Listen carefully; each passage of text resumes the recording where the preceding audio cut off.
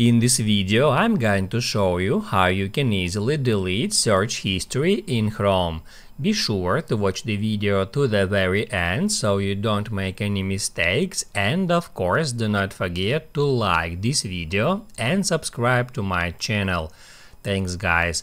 So let's get started and first off open up Chrome and then click at these three dots at the top right corner.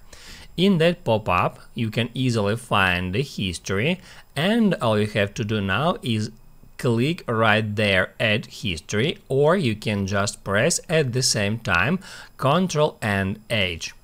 Then you will be taken to this page where you can easily delete some particular searches. To do that, just uh, check mark those searches in that way.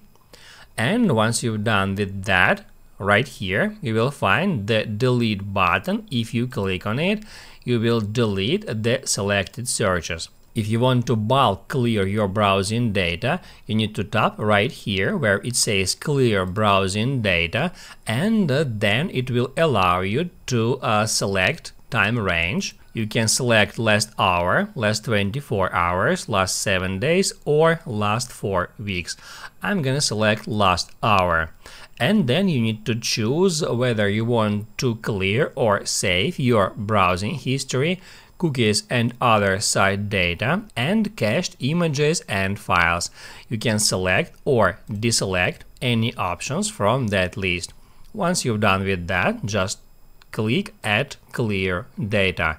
And after that, all the selected data for the selected time range will be cleared. That's how you can easily clear search history in Chrome. Now you can write down in the comments below if you have any questions about that tutorial, hit the like button if you like that video and see you in the next one.